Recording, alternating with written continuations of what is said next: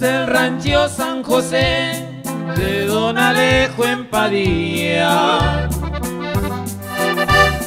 Llegó un montón de sicarios para leerle la carretilla de abandonar a su rancho. Que ellos irían otro día. Como era un hombre cabal y las armas certero. Le dijo soy su rival, mañana aquí los espero, porque para él ya era igual. Matar o morir primero. Él ya tenía preparado sus rifles para enfrentarlo. Buscaba por todos lados a los que iban a atacarlo, rumbo a seis de los malvados. Y eso no habrán de olvidarlo.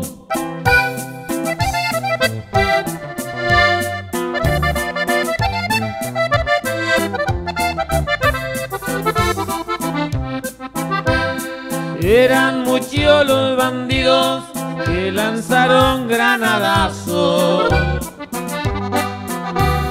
Alejo hubiera querido acabarlos a balazos, pero cayó mal herido.